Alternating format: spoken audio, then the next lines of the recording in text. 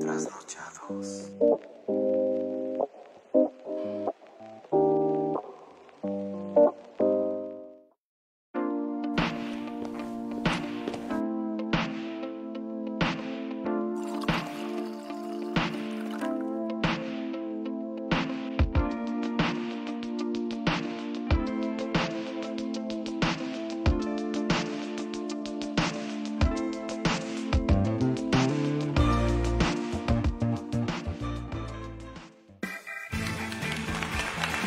Noches, queridos oyentes.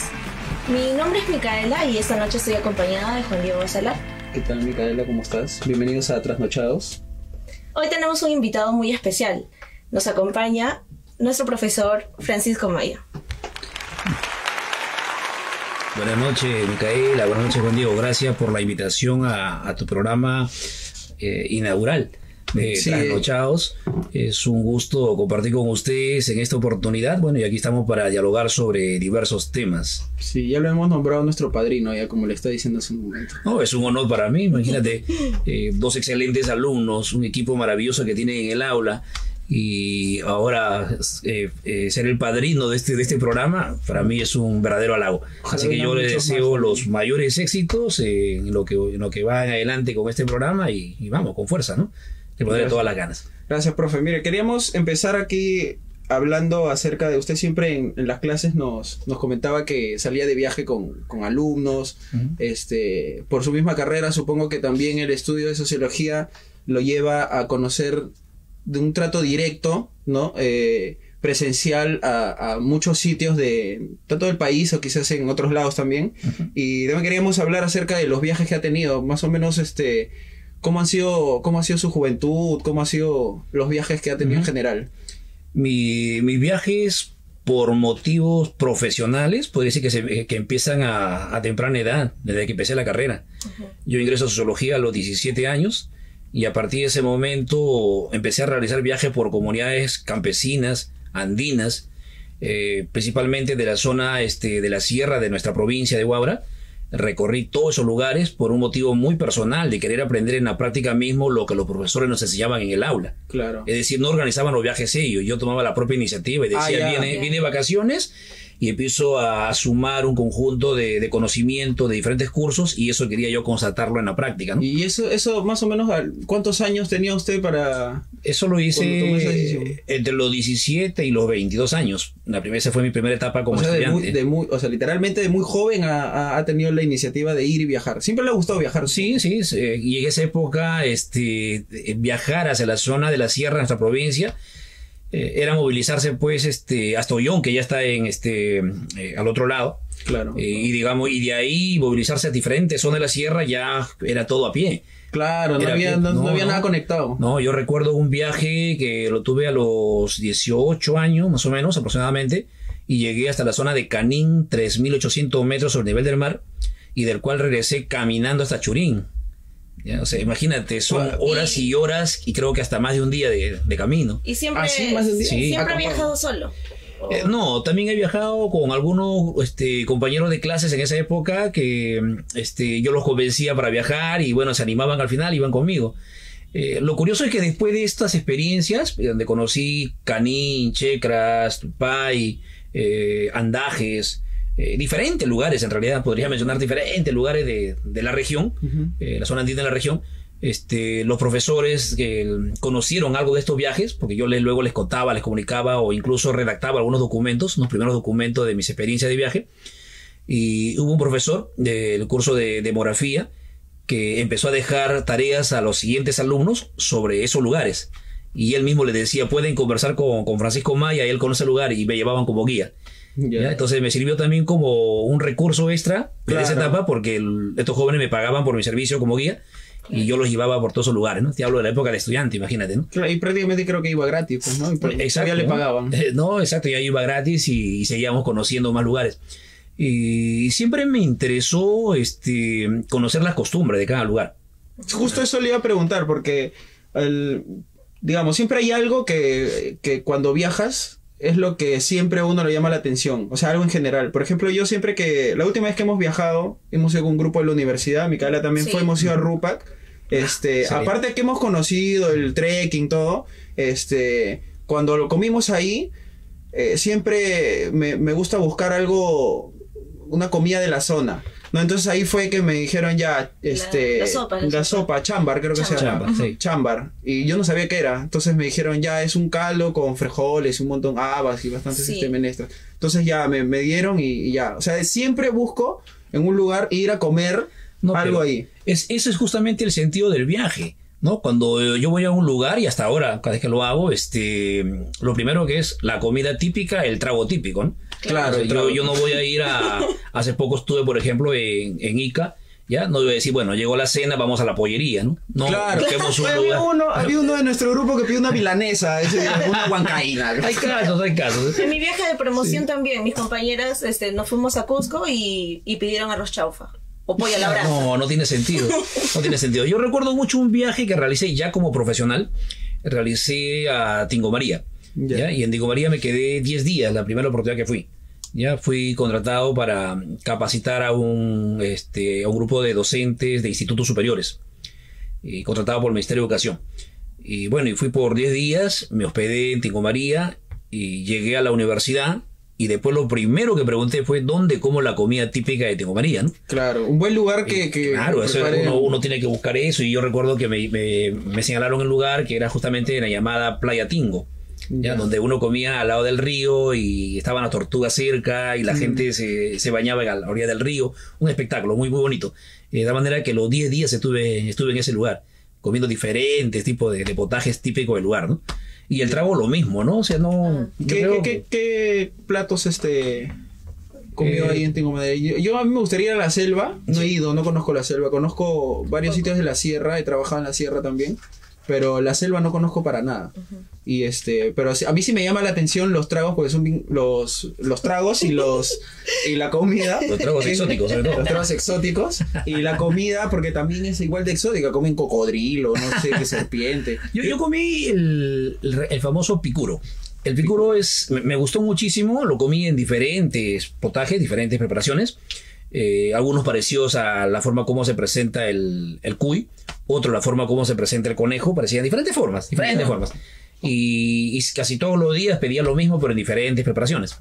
Hasta que el último día me despedí de la, de la dueña del restaurante donde yo estaba comiendo esos días y me dijo, pase por acá, le voy a enseñar cuál es el picuro, ¿no? Y entramos al corral y el picuro era como una rata gigante, ¿no? Y me dijo, Ah, eso es lo que te estás comiendo. Así como ¿Con una cola? mosca. ¿Con cola? Enorme, sí, grande, ¿no? No. Sí. Pero, pero riquísimo. Riquísimo. Y lo curioso es que ellos lo crían, o sea, es doméstico.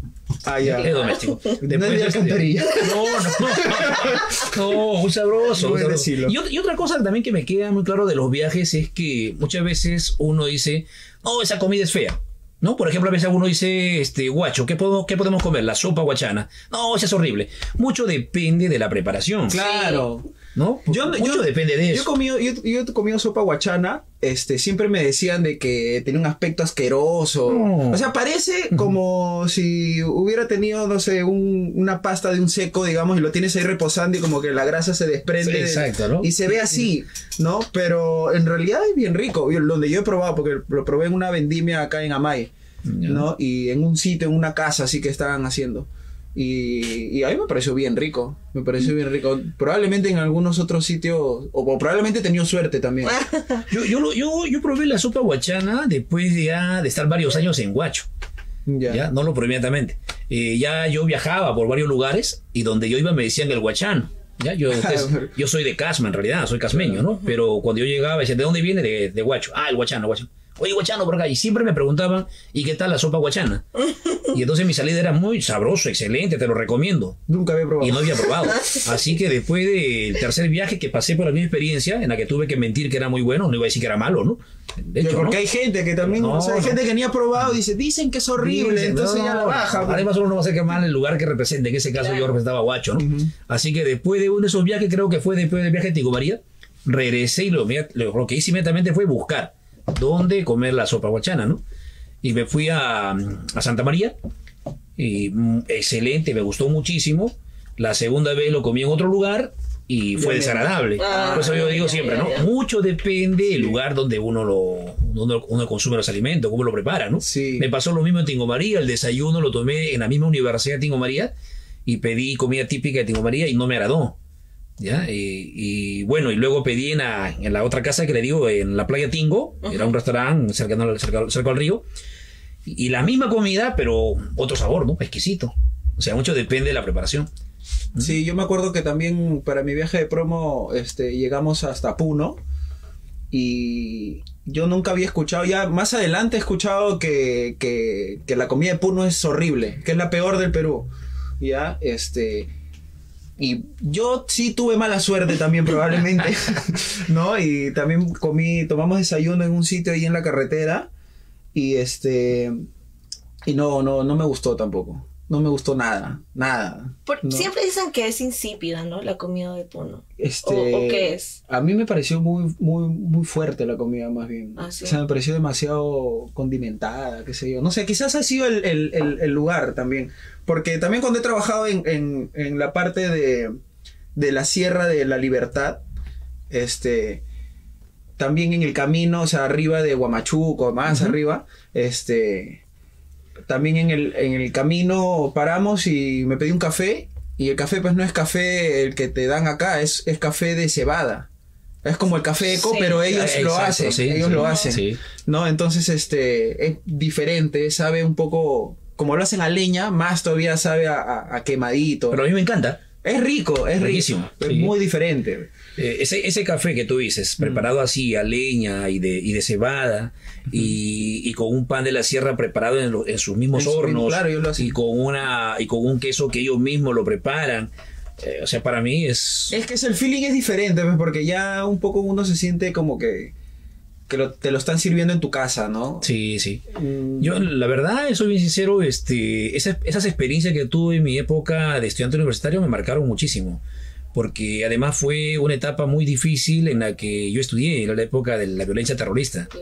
Y entonces. Y todavía este, sociología, que era Y un- sociología. Imagínate, yo caminaba a todos esos lugares y, y yo he encontrado muertos, pues, ¿no? En esos lugares. He encontrado gente colgada de un árbol, así mueren los traidores, los soprones, Ah, todas esas cosas, ¿no? Con sus letreros. con sus sí. letreros y he seguido caminando y he sabido llegar a comunidades en las cuales el presidente de la comunidad me, la, de la comunidad me lloraba y me decía hijo retírate vete vete no te, te pueden matar vete de acá y yo así me quedaba era mi deseo de conocer decía pero por qué me van a matar eso cuando, cuando es joven a veces tampoco no mide el, el Sí, peligro sí. y ahora mirando bien Hacia atrás. atrás. y digo qué hice no puedo estar En la vida todo es diferente. sí recuerdo mucho que una vez este eh, bajé, pues sí bajé, es el término que uno usa porque está De la eh, sierra. de la sierra hacia las zonas altas, hacia el río, eh, ¿no? Y para, para darme un baño, me bañé en el río. Y al salir del río, un hombre me agarró del cuello y levantó la mano con un machete, ¿no?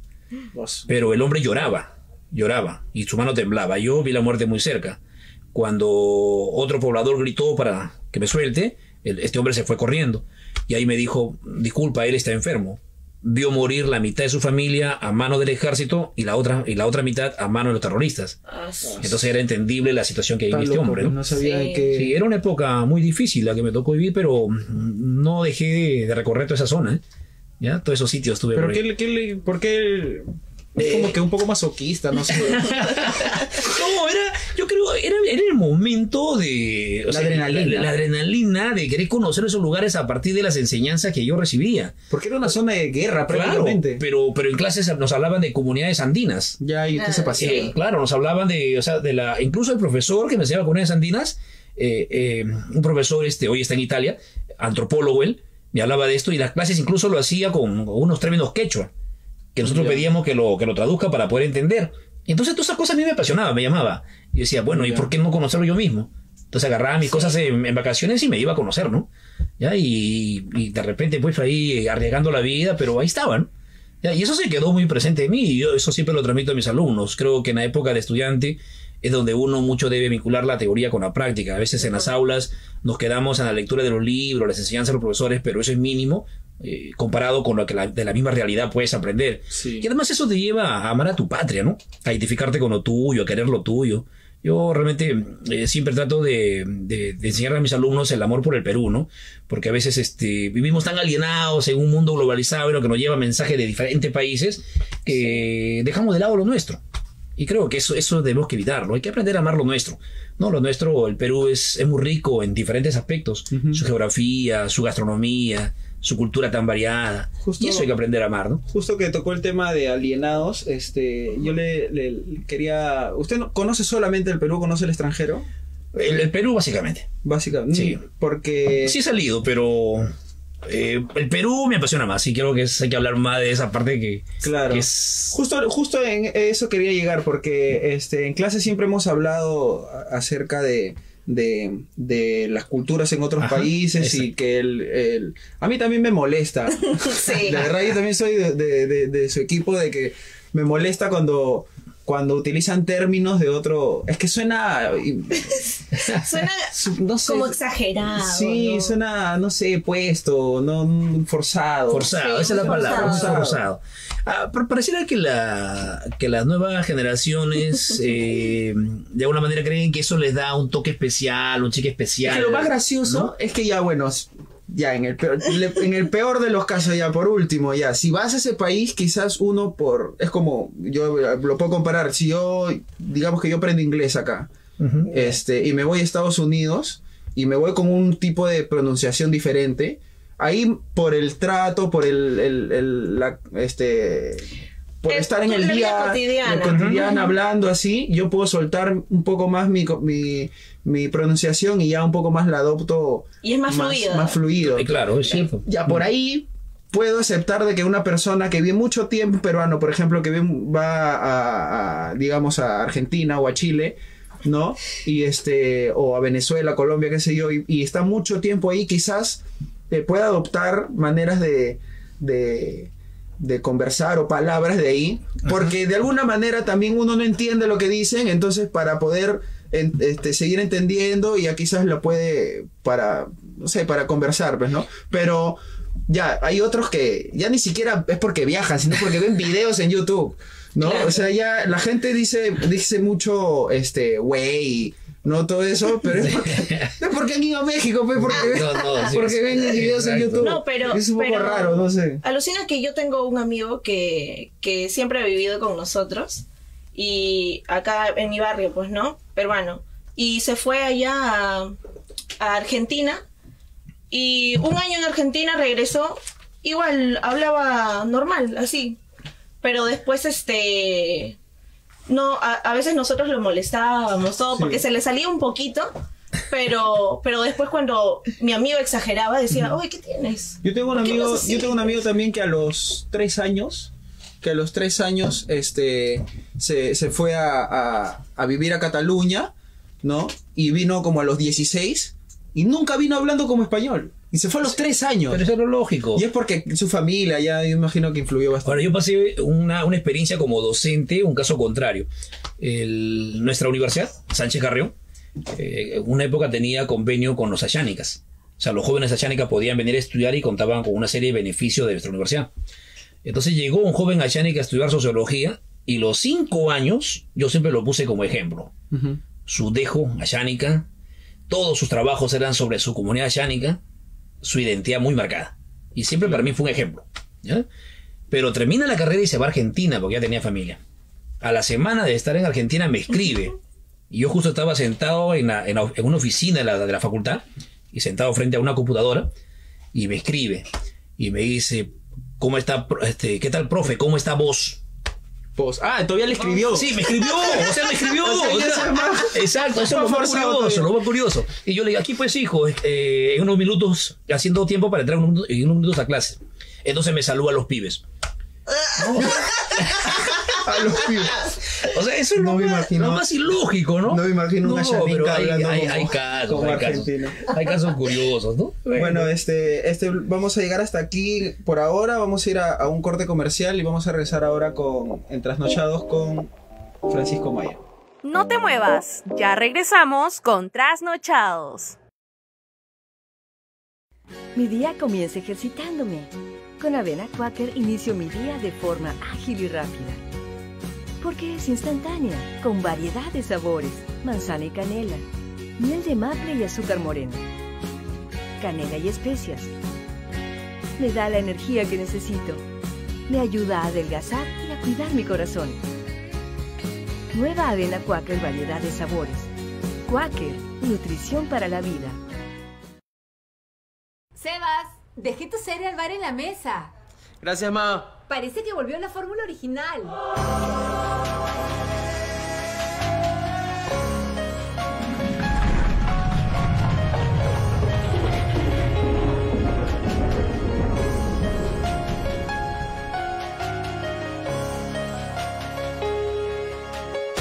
Volvieron tu serie al bar con la fórmula original. Disfruta de sus tres sabores: Choco, Golden y Chips. ¿Qué esperas para el reencuentro? También te dejé de Choco Chips.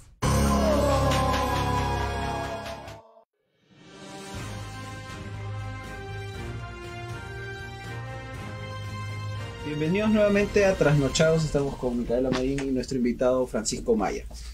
Eh, bueno, vamos a entrar ahorita con el bloque de, de noticias. Vamos a comentar un poco las noticias. A ver, ilumínanos con nuestra primera noticia, Micaela. Y dice, Alemania se prepara para una Navidad terrible en el país por el aumento de casos y la baja vacunación. El responsable de la Agencia Alemana de Control de Enfermedades, el Instituto Robert Koch, alerta de una Navidad terrible por el aumento de casos, registrando 68 68 mil. registrando 68.366 el pasado miércoles, además de la baja vacunación en el país, ya que algunas zonas de Alemania han alcanzado tan solo el 57.6% de la población inmunizada. Lothar Wieler ha vaticinado que tendrán una Navidad realmente terrible si no tomamos contramedidas ahora. Wheeler dijo que Alemania necesita aumentar sus tasas de vacunación para que superen de forma considerable el 75% respecto el 67.7% actual. En algunas regiones del país la tasa cae hasta el 57,6%. 67%. Yo alucinaba que ya en Europa estaban Exacto. mucho, mucho más arriba, ¿no? De- acá en el Perú, acá hay un, un cuadro, eh, según el portal de del mismo Del Minsa, dice que estamos a un 78,6, o sea, nosotros estamos mejor que Alemania. en vacunación. Es, es- es bastante curioso, ¿no? Porque todos teníamos esa impresión de que Europa y sobre todo Alemania, siendo Claro, un país empezaron, desarrollado, empezaron muy ¿no? antes. Claro, o sea, vacunación. ellos empezaron primero con la vacunación, uno eso, y dos también el tema de la cultura, ¿no? O Mm. sea, pensábamos que la población era más asequible a aceptar el, el tomar estas medidas de las vacunas para poder, este, de alguna manera sobrellevar el tema de la pandemia. Pero más bien es al revés porque, este, o sea, allá el tema no es que no haya vacuna, o sea, no hay forma. Exacto. El tema es que la, la- la gente es muy reacia a vacunarse, no, no Eh, este... Lo, lo mismo que pasa acá, hay mucha gente que es reacia a eso. Y es que además también, el- uno es el tema cultural, ¿no? O sea, aquí somos pues desconfiados de muchas cosas. Sí. ¿no? Y dos es también que se ha difundido a toda una corriente de pensamiento contraria a la vacuna, que, que muchas veces eso tiende, tiende a tener un efecto en la población, ¿no? Que no es solamente acá, o sea, No, no. a nivel mundial. A nivel mundial. Claro, nivel mira, mundial. en Alemania A nivel esto es lo que, lo, lo que produce, ¿no? Y bueno, como dicen, va a tener una Navidad terrible Alemania. Ahora, Nosotros, yo me ¿cómo será quedo, yo me quedo con ese, ese término de Navidad terrible, porque, bueno, hace dos años que tenemos Navidades terribles. Sí. Sí. ¿no? O sea, Sí. la pandemia nos llevó a, a pasar Navidades Tristes. con ausencia de algunos familiares que se perdieron, Sí. eh, recordando amigos que se fueron, eh, no sé, tantas cosas que hemos vivido que las Navidades terribles eh, ya no, no se elige algo, algo nuevo dentro del contexto de la, de la pandemia que estamos viviendo, ¿no? Sí, pero dentro de todo, yo creo que esta enfermedad es media rara. Sí. Porque, o sea, no, no. La información parece que está muy así. Hemos encontrado esto ahorita ayer, toma. Eh, y, es co- como que no pierde mucho peso, ¿no? Entonces la gente un poco que también empieza a creer otras cosas que. O sea, tampoco hay datos que digan que eso es mentira. O sea, hay indicios también que podrían decir que, que es verdad, pero quién sabe, pues, ¿no? La- lo que no podemos negar es que la pandemia del COVID-19 es una realidad. Claro, Claro. Pero el gran problema es cómo se utiliza. Cómo se utiliza esta pandemia para otros fines, me refiero.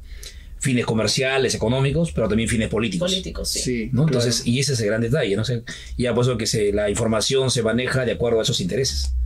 Sí, es cierto. Ah, Este, en, en Ica, eh, hace unos meses, hubo un tribunal que, que había hecho. Lo que pasa es que había una, una prisión preventiva que estaba en juego. Y entonces el tribunal se había demorado en, en emitir el fallo. Y entonces los jueces en su en un informe para justificar su fallo dijeron que era debido a la pandemia, incluso pusieron ahí que, que este que para todos ha sido difícil menos para los grandes para la élite mundial este y acusó a los Rockefeller a pero o sea, Ah, es como no poner eso en un informe No. de, de judicial Eso está bueno para un análisis que uno hace del contexto, ¿no? Claro, pero no para un informe, o sea, que tiene que ser más objetivo, quizás no una acusación así un Ahora, poco... eh, a mí me pasó algo curioso, que durante toda esta etapa que estamos viviendo la pandemia, eh, ya no vengo publicando muchas cosas sobre el tema en las redes sociales, porque cada vez que hablaba del tema y publicaba cosas y decía cómo la pandemia se utilizaba políticamente, o cómo se utilizaba para intereses económicos también, eh, la, el Facebook, el Twitter me suspendieron. Ah, Sí, me suspendían y me decía sancionado por tantos días por. Eh, ¿Cómo es algo? Por inculcar al odio, impulsar al odio, algo así. ¿no? Ah, término. sí. eh, pero eso, ese término me llegaba constantemente. Sanciones de una semana, hasta la, la última fue de dos meses. Y Es que eso también... y, eso y de ahí también- dije, ya, ahí nomás, no toco el tema. Porque ya pues. Es que es- eso es. Sí, lo que pasa es de que lo mismo pasa en Instagram. Por ejemplo, hay influencers que en esta pa- en, en la etapa de, de las elecciones y todo eh, empezaban a explicar, ¿no? Este, de qué se trata todo esto. Y a una influencer le, le bajaron la cuenta, este, Instagram le, se- le eliminaba publicaciones y cosas así. Entonces no es, no no era porque ella estaba apoyando algún partido político, sino que estaba informando, Informando. De, de cómo estaba yendo todo el proceso. Y aún así lo trataban de cerrar, Sí, sí. cerrar, cerrar. Sí, me, me pasó- me llegó un video una vez a mí de, de, de Europa y con estaba con la- las letras abajo del en castellano, En español. en español, y hablaba de cómo se utilizaba justamente la pandemia y cómo que era un engaño, todo lo demás. ¿no? Ah, el Plandemic creo que se Ah, llamaba. sí, el- creo que sí, no recuerdo bien. Y bueno, y este, yo no hice un comentario, o sea, simplemente dije, eh, los invito a observar este video y saquen sus propias conclusiones. Mm. Ya tenía miedo de que me vuelvan a cerrar la cuenta. Y sin embargo me cerraron. Para, es que ese video, ese video fue censurado. Empezó, creo que se refiere al video de Plandemic, que sale como que una doctora y salen varios médicos diciendo de que, de que esa enfermedad no existe y que los, lo- lo- las- los informes que decían de la gente que había fallecido no había sido por COVID, sino por otras enfermedades que en teoría ellos ponían que los causaba el COVID. ¿No? Y entonces como que eso era... Fue un video que salió al comienzo de la pandemia. Eso lo censuraron Claro. por todos lados. Sí, me sancionaron a mí también, me cerraron la cuenta y ¿Para qué ah, bueno, ¿no? Ahí quedó. Pero, pero eso es en el Twitter lo mismo, ¿no? Yo, yo utilizo mucho Twitter porque se supone que en Twitter hay un debate más serio. Claro. Ya se supone, ¿no? En teoría. Se supone, en teoría. Al menos era al inicio. Sí. ¿ya? Pero igual también te sancionan ahora. ¿Ya? Te sancionan o no. Y, y, y es curioso porque tú ves que otras, otras publicaciones eh, son tan fuera de lugar, con incluso con, con groserías de promedio. Y están Sí. ahí, ¿no? Están ahí. Sí. Justo vamos a hablar este, más adelante acerca de, de las redes sociales. Vamos ahorita con, con, la, con la segunda noticia. Es un poco más de, de, de deporte, pues, ¿no? Que dice, la Comebol toma medidas ante el escándalo del Argentina-Brasil.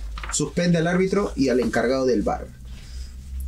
A la Comebol no le ha temblado el pulso y ha suspendido de forma indefinida al árbitro uruguayo Andrés Cuña y al encargado del VAR Esteban Ostojic. Ha hecho, cuando ha arbitrado el partido de Perú, como que no, no ha sido tan... O sea, yo lo he visto bien neutral, ¿no? Incluso era lo que escuchaba de los comentaristas. Pero bueno, acá no, no, no sé qué ha pasado. Creo que usted no es, no es este tan amante del VAR, ¿no? Depende tradicionalista, eh. si es con B o con V, ¿no? Ah, ya. bueno, del bar con B grande creo que hay varios que somos. no, pero. No, bueno, este. por- yo soy aficionado al fútbol, ya, de pequeño. Y he visto tantos partidos que se han perdido injustamente por malas decisiones arbitrales. Sí. Que cuando nace la iniciativa del VAR, eh, yo por ese lado lo vi como algo, algo justo, ¿no? Que va a surgir, como algo que se va a aplicar para poder eh, justamente este, cobrar lo que era correcto. Eh, la primera decepción que tuve del VAR es que le quita emoción, lógicamente. Sí, porque están gritando el gol de la nada. Esperen, esperen, tenemos que ver. Sí, entonces esa cosa como que, ¿no? Sí. De alguna manera yo siempre he dicho, no fui bueno en el fútbol, pero practiqué el fútbol, ya a nivel, a nivel de liga. Y, una- y vivirlo de adentro es, es Es hermoso. ¿no? diferente, Es claro. hermoso eso. Cuando Y- juegas y hay un- Claro, gente y- viéndote. Y de repente que te corten y te digan, no, vamos al bar, debe ser pues fuerte, ¿no? Y, imagínese Claro. en una, en una, una competencia de primer nivel, como una Exacto, Champions, con- con una eliminatoria. Con tribunas Un completamente. mundial. No, bueno, se debe ser. ¿no? Y entonces el bar te corta todo ese tipo, ese tipo de emociones. Pero por otro lado, también este, este lado de que el, el bar. Eh, es, puede, al final de cuentas, manejado por, por seres humanos, ¿no? que, al final Sí. son, que al final son quienes toman la decisión. ¿no? E incluso ahí podríamos hablar de repente de algún tipo de margen de error humano, ¿no? utilizando la tecnología, que suele pasar. Claro. Pero ya lo curioso es cuando en algunos casos, cuando juegan selecciones o equipos, llama- eh, llamémoslos favoritos, eh, poderosos, Sí. eh, Más marqueteros. Claro, ¿no? Que venden más para la FIFA, porque además el fútbol se ha convertido en un negocio. Ya hay árbitros que ni siquiera quieren recurrir al bar, ¿no? ¿no? O sea, eso ya es lamentable, como le ha pasado a Perú algunas veces, ¿no? Claro, en el partido con, con, con Brasil en Lima, con. Bascuñán, eso sí fue un robo. Es que al final de cuentas, este, esta tecnología se ha creado para que simplemente eh, la FIFA pueda cumplir con su objetivo, que es un objetivo comercial, ¿no? Sí. Eh, la FIFA no va a querer nunca un mundial sin, sin Brasil, por ejemplo. E- Eso es lo, lo, lo, lo raro, porque al final Argentina y Brasil ya están dentro del mundial. Sí, pues. Sí. Entonces Sí. no, no habrían para qué, para qué molestarse. Pero creo que el incluso había leído en un portal de marketing que los dos, las dos selecciones que más vendían en el mundo, o sea, las más marqueteras eran Argentina y Brasil. Entonces, no sé, un poco raro también esa, esa decisión. Lo que sí yo creo que el VAR sí sirve, por ejemplo, para lo- las posiciones adelantadas, los Ah, offside. sí. Ahí sí, porque Claro. creo que habían a- a- incluso el, el gol que, que metió La Padula. la Padula, que no parecía, pero sí, o sea, estaba ahí por un Sí, milímetro del hombro, mínimo, sí. casi, casi que, se- que si, el, si el árbitro lo hubiera visto un poquito adelantado, se Lo cobraron. lo co- claro, Sí, lo sin la cobraba. existencia del VAR eso pasaba como gol, ¿no? O sea, Sí. se le cobraba gol. Es cierto, en esa parte ayuda.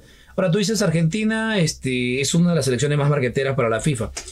Eh, debe ser ahora por la presencia de Messi también, ¿no? Messi comercialmente que antes, le ¿no? sirve mucho a Argentina. Ahora, Messi es un, un producto comercial, bueno. Sí. Sí. Eso, ¿no? uno que juega en España y en Europa se consume mucho la prensa En deportiva Francia, española. En Francia ahora. Y, y dos, que es argentino, y en Sudamérica consumimos mucho la prensa deportiva argentina, entonces Messi Sí. está pues por todos lados, ¿no? Sí. Por eso que hay muchos seguidores de Messi, por eso que se trata siempre de crear esa imagen de que es el mejor futbolista de la historia, lo cual no comparto, ¿ya? No comparto. Tuvo su Eh, época, ¿no? Tuvo su época... Messi es, un fenómeno, es bueno, yo, es- eso nadie puede negarlo, sería absurdo negar eso. Pero no lo considero el mejor de la historia porque eh, he visto, he visto otros jugadores que con menos marketing, con menos venta que hoy, sin embargo, este eran extraordinarios, ¿no? Y hacían cosas increíbles. ¿Cómo? ¿no? Eh, yo me quedo con Diego Armando Maradona, para mí siempre Maradona. Sí. Ya, este mm, Pelé es el rey del fútbol, ganó tres, tres copas eh, del mundo, eh, más de mil goles, ¿no? Extraordinario, he visto sus videos, ya, he visto sus videos, pero mm, yo a Maradona le vi siempre algo que no tenían todos los demás. Liderazgo. Ah, liderazgo. claro. Maradona jugaba con pelota y sin pelota. Es decir, Maradona era un, era un Mentalmente que- también tenía otro partido. Claro, sus gestos, eh, la forma como alentaba a sus compañeros, eso también jugaba partido aparte en él, ¿no? Sí, sí, porque, o sea, incluso su equipo, lo o sea, no solamente la gente, sino su equipo ya lo consideraba lo máximo, un dios, ¿no? Entonces lo que él decía era ley, ¿no? Ahora no se ve tanto eso con Messi, pese a que Messi se lleva a toda la selección en su avión. O sea, toda la selección se mueve en el avión de él, Exacto. ¿no? O sea, de alguna manera también él quiere un poco... Pero yo creo que no es igual. Es nunca que a ser son dos. eh, es, es- es un tema de personalidad. Sí. Exacto. Es un tema de personalidad. Yo, por ejemplo, cuando. Y, muy- y muchos amigos discrepan conmigo en esto.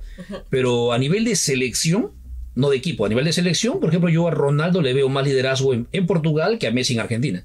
Sí, claro. Sí, si en la final de la Eurocopa que ganó Portugal, él creo que se lesionó y lo tuvieron que sacar, salió y desde la banca empezó a gritarles a todos y él prácticamente dirigía todo el partido.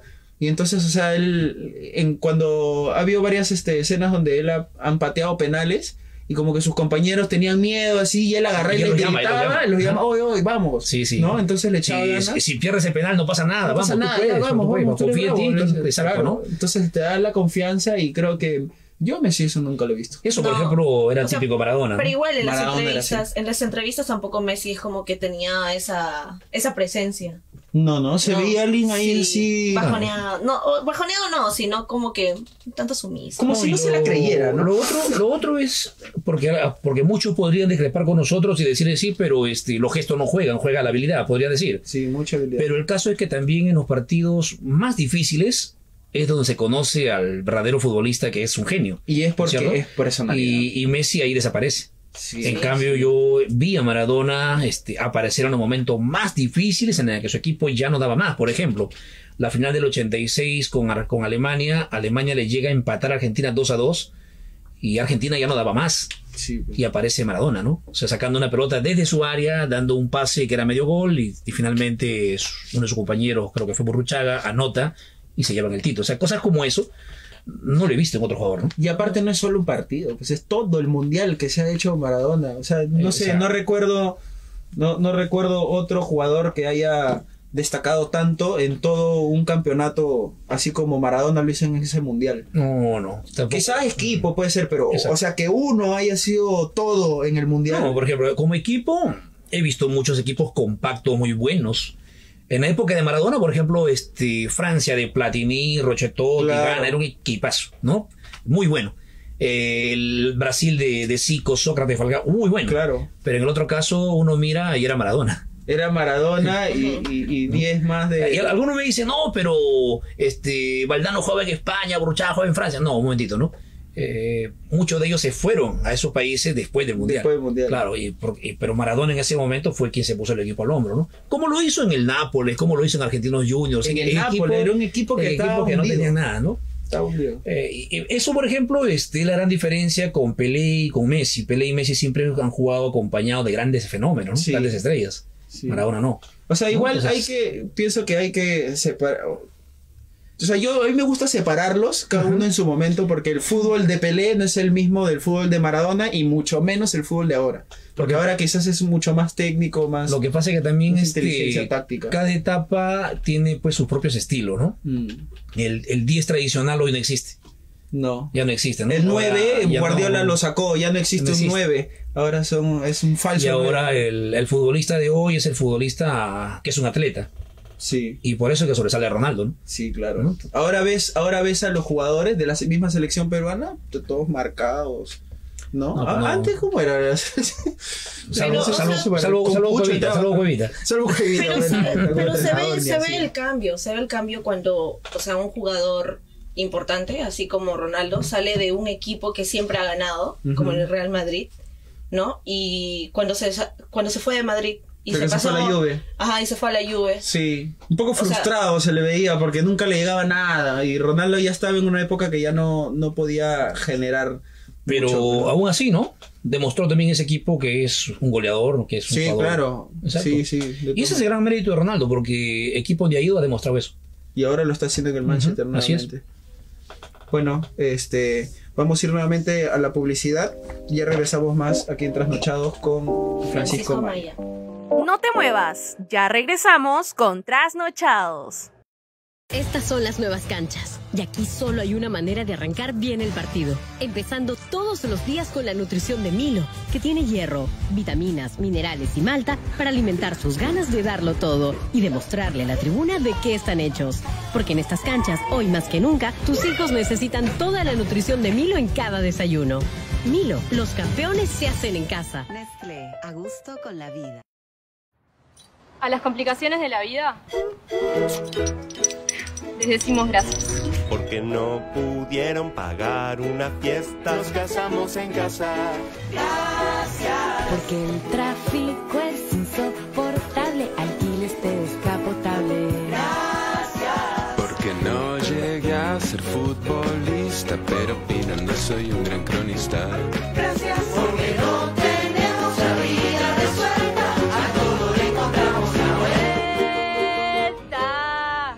7 Up. Quedémonos con lo refrescante.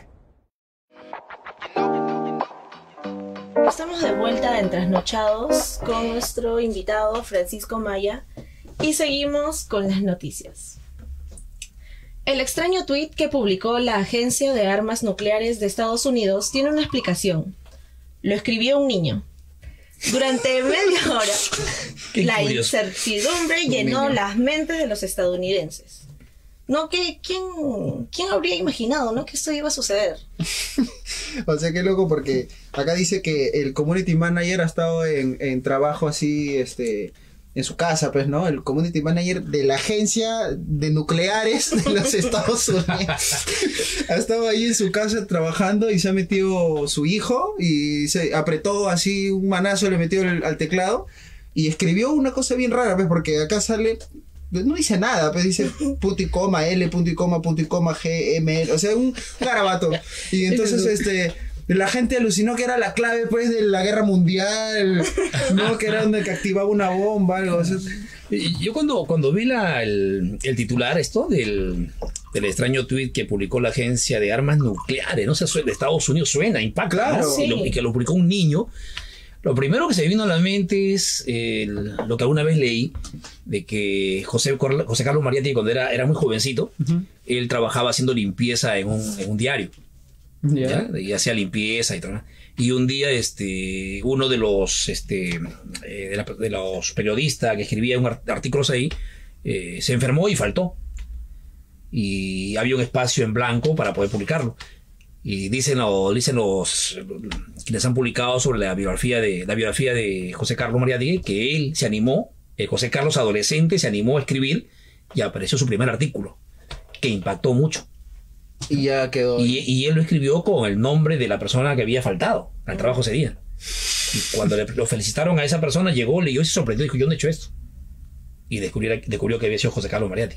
Entonces yo cuando leí esto, dije, bueno... Bueno, un niño quiere un niño- ser- Un niño genio, bueno, un niño genio. Un niño quiere ser tuitero. Pero bueno, pues... El niño en la, Eh, en la ¿no? US Strategic Command. Claro, pero esto nos lleva también a la reflexión de, la, de las redes sociales, ¿no? Sí. Es que justo eso quería partir porque, o sea, antes para... Acá en Perú, antes para cualquier pronunciamiento que haga alguien del gobierno, el, o algún congresista, ministro o el mismo presidente tenía que o presentarse en una entrevista o hacer un mensaje a la nación, en el caso del presidente, pues, ¿no? Pero ahora basta, o sea, que con un tweet y, y ya está. Pero eso no sé, no sé qué bien le hace porque...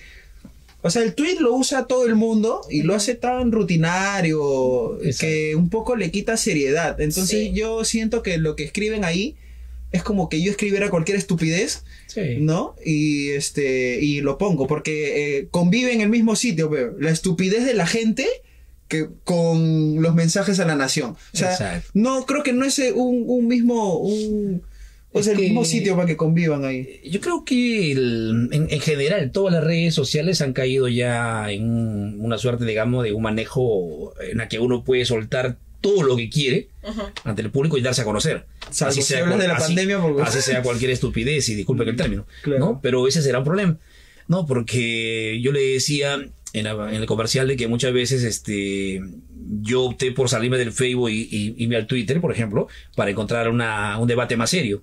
Pero después vemos todo esto que ocurre, Sí. se pierde, ¿no? Se Claro, porque ello. los mismos congresistas se pelean entre ellos Exacto, por Twitter. Exacto. Claro, O sea, entonces ya- la ya- noticia es esa. ya se, se tergiversa todo, o sea, ya eso se ha... Sí, y, es- y sale como titular, ¿no? Titular. Claro, donde, u- u- abren hilo eh, donde se pelearon dos congresistas, ya, Sí. noticia. se, se- O sea, y se vuelve noticia, se vuelve pues, tendencia. No, ya en general, ya no solamente es un problema del, del Twitter, es un problema de todas las redes sociales en general, ¿no? Sí. En general. Eh, Manuel Castel, un, un sociólogo, este, dejó una frase que me hace siempre reflexionar sobre el tema. Dice el, que a través de las redes sociales las personas tienen la posibilidad de sacar a la luz la oscuridad de sus vidas. ¿no? Y pareciera que eso es cierto. O sea, yo quiero mi, mi minuto de fama y puedo publicar cualquier tontería, ¿no? Claro. Sí. Y, y te das cuenta porque muchas veces, incluso cuando tú haces una reflexión eh, seria sobre un tema importante, eh, tienes tres likes, ¿no? Eh, y por ahí un comentario de un amigo muy cercano, ¿no? Sí. Pero publica una tontería y tiene 200, 2000 likes y, y Sí. te llenan de comentarios y incluso comparten tu publicación y dice, diablo, ¿no? ¿Qué, qué, en qué país estamos viviendo? Sí. Y, y lo, y lo muy lamentable es que incluso, como ustedes lo dicen, muchas veces se convierte también en tema de noticia, ¿no? Porque de ahí se extraen justamente las cosas como si ese fuera el mundo real. O sea, la, la realidad virtual eh, para muchos medios viene a reemplazar a, una, a la realidad física, ¿no? Y Sí. entonces vivimos, empezamos a vivir un mundo imaginario.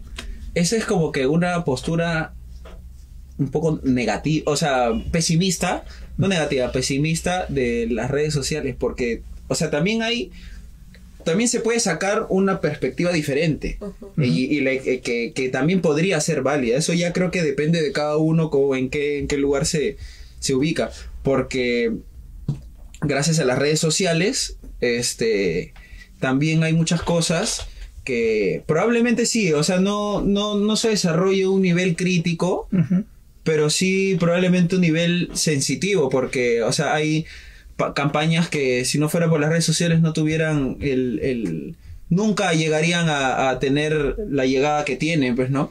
Cuando, claro. O denuncias sociales, cosas así. Ahí yo creo que sí hay un, un- una, ra- una buena razón para la cual la gente esté co- interconectada. No, de hecho, hay, hay muchas buenas razones. Sí. Por muchas- ejemplo, el tema de la nueva estrategia de marketing para algunas em- para los emprendimientos Claro. es importantísimo, ¿no? Hoy en día. Sí. Pero también te sirve como medio de relaciones interactivas, ¿no? Eh, Las relaciones a través del chat, por ejemplo, ¿no? Utilizando las redes sociales. Cosas que en mi generación no existían, ¿no? O sea, yo este, eh, perdía contacto con una enamorada en mi época adolescente porque se iba a vivir a, a cuatro horas de la ciudad donde yo estaba y ya nunca más sabía de ella, ¿no? ¿No? o sea, es- eso es distinto. En cambio, hoy en día no, pues, ¿no? O pagabas no sé Claro, cuántos soles para una llamada internacional. Exacto, no, no, no era posible. En cambio, ahora no. Ahora se va a cualquier parte del mundo y no pierdes contacto con esa persona, ¿no? Con tal que tenga internet, ya ¿No? Entonces es, es distinto. O sea, por ahí, por ese lado, las relaciones interactivas como que vienen a reemplazar pues a las relaciones de carácter físico, ¿no? Eh, no comparto la idea de que sea lo mismo, ¿ya?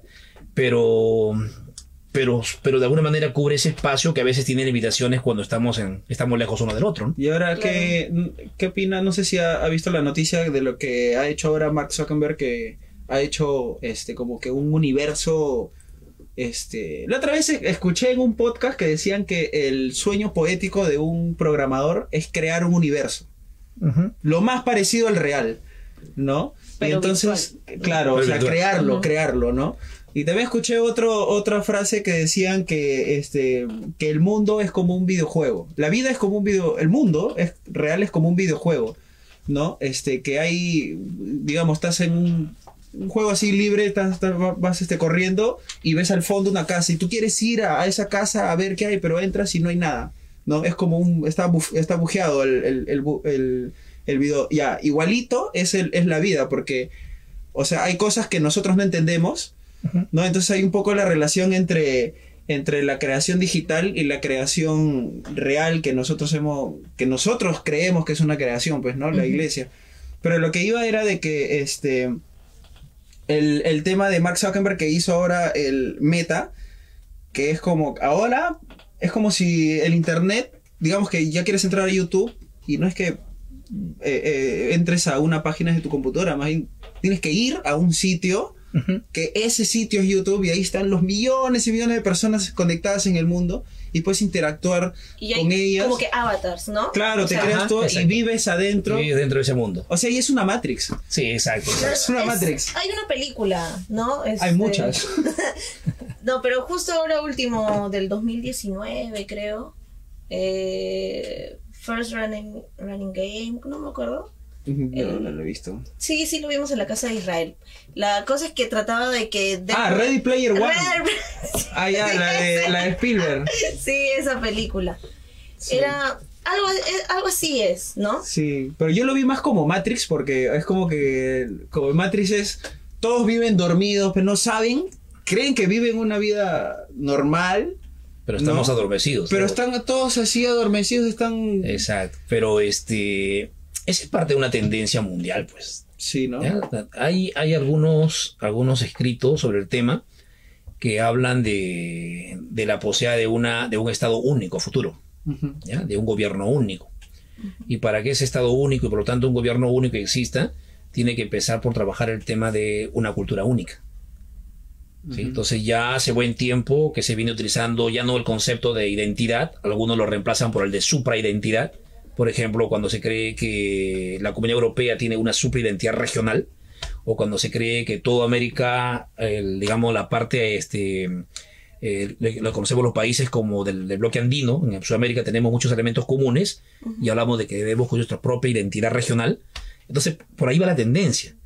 Y, y a través de las redes es una forma de ir construyendo una, una identidad cultural única, ¿no? Unificar, claro, pues, porque eso, eso no va a ser de aquí en dos años, No, no, eso va a ser es un generacional. proceso, es un proceso generacional, eso es, ¿no? Ir construyendo eso.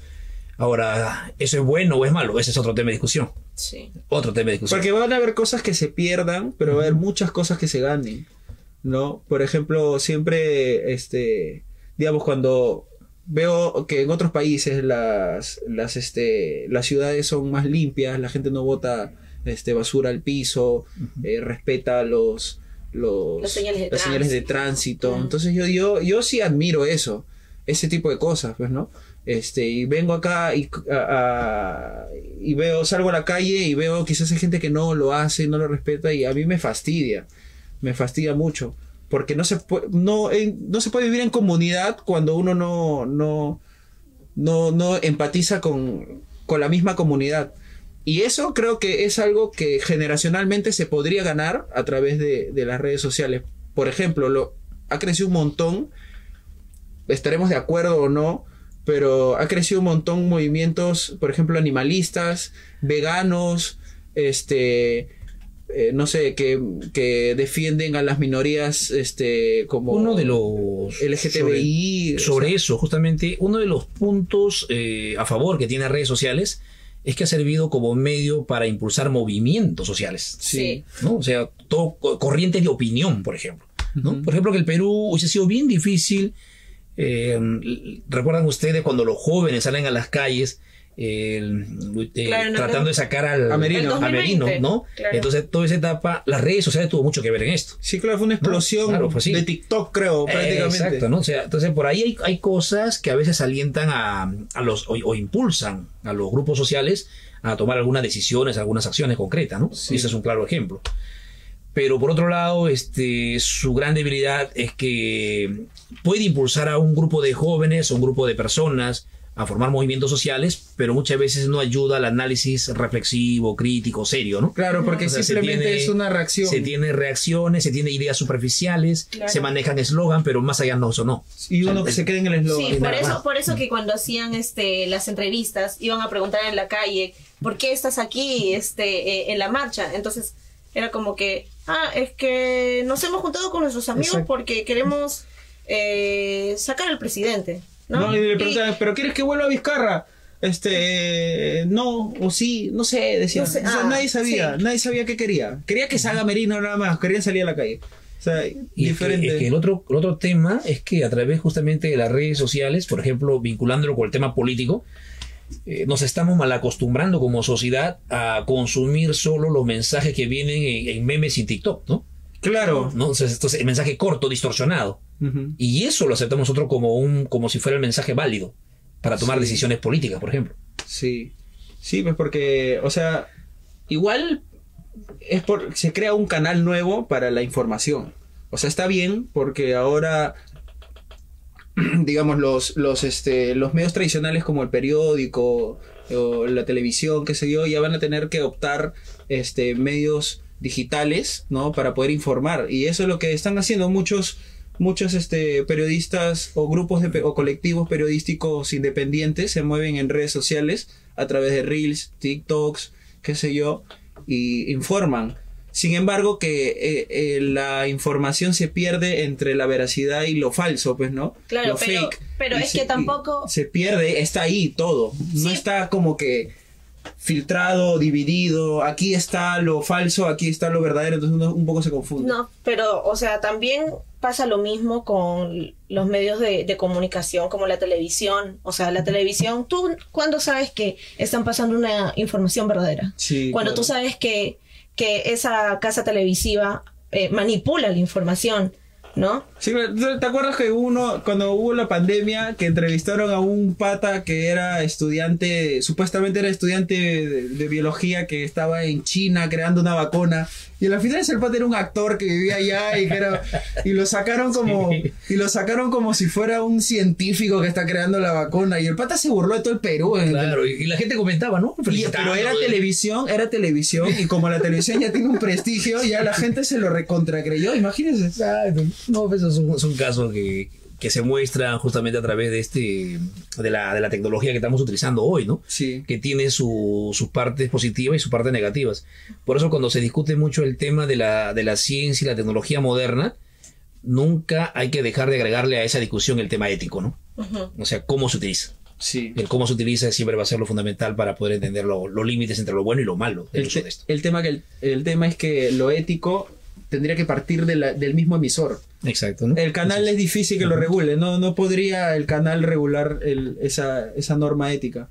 Y mucho menos pues el, el receptor, porque al final es el receptor simplemente ve y ya la masa lo cree. Quizás su en uno no funciona, pero en la masa, en el colectivo, funciona.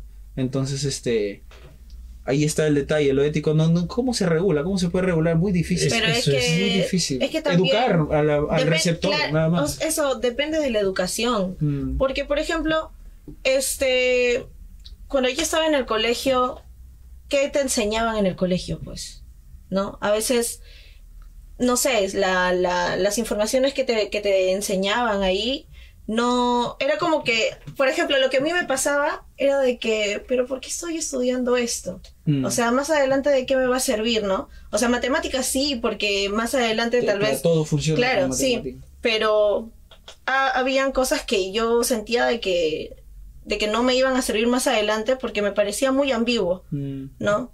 Entonces, eso es lo que pasa, no el, el Estado no invierte mucho en educación. Yo más bien, en lugar de, de- de sentir que, que no, que algo no me servía, yo este, yo, sen- yo sentía de que necesitaba estudiar, por ejemplo, este, finanzas, algo así. O algo de administración. Yo sentía que, que necesitaba aprender algo de economía o de funcionamiento del Estado, más este, más, más abierto, qué sé yo. Había cosas que, que sí sentía que me faltaban en el colegio. Mm, Dos cositas puntuales sobre esto. Uno, de que mm, también hay tres de por medio. O sea, una, una masa no educada es manipulable. Claro. Claro. Entonces, uno es eso. Y dos, que también muchas veces fallamos los, los docentes en el sentido de que brindamos una información, y me refiero en toda la educación, incluyendo básica, una, una información, pero no una formación del alumno. Y cuando hablo de formación, me refiero básicamente a cómo vincular los contenidos con la vida misma, ¿no? Para que los, los niños y jóvenes le encuentren sentido. ¿no? Por ejemplo, si soy un profesor de educación cívica, ¿no? no solamente basta con transmitir un conocimiento, sino cómo eso le sirve para la vida. ¿no? Entonces ahí es donde uno le encuentra realmente el verdadero sentido a los contenidos. Entonces dice, esto no me sirve de repente para postular a la universidad, no me sirve para sumar, para aprender a sumar o restar, pero me sirve para adquirir un tipo de conducta y comportamiento en la vida, ¿no? Claro. Entonces eso también es, es importante. Sí, es cierto. Entonces hoy se han perdido muchos de esos detalles. Eh, no se enseña la historia del Perú como antes, se enseñan en, en- en grandes bloques de la ciencia social en general, se discuten generalidades, pero no se ven temas Sí, específicos que lleven a que uno se, se, se identifique y ame más a su patria, por ejemplo. ¿no? Es que en realidad eso es lo que lo que importa de la, de la historia, no el hecho en sí, sino es aprender de lo, de lo que ha pasado. El Entonces, si, el, si el, la educación no se basa en la reflexión y se basa simplemente en el En- concepto O, o en o fechas, información, en sí. formación en sí, Ujú. entonces ahí hay un, un Un vacío. vacío, pues, ¿no? un vacío enorme. Un vacío. Gracias. Bueno, nos quedamos con esa reflexión. Muchas gracias por haber estado esta noche con nosotros, profesor Francisco Maya. Gracias a ustedes por la, por la invitación. Les deseo muchos éxitos en su programa Trasnochados. Y un gusto, pues, enorme de haber este, ser considerado el, el padrino del programa de alguna manera, ¿no? Sí. El Entonces, primer invitado padrino. el primer invitado, el padrino. Entonces, yo le deseo pues, la, la mayor de las suertes. Eh, conozco al equipo y sé que tiene mucho, mucho que ofrecer al, al público oyente, ¿no? Gracias, gracias por Muchas gracias. Gracias, profesor. Muchas gracias, profesor. Los dejamos. Esto ha sido todo de Trasnochados. Buenas noches. Hasta luego.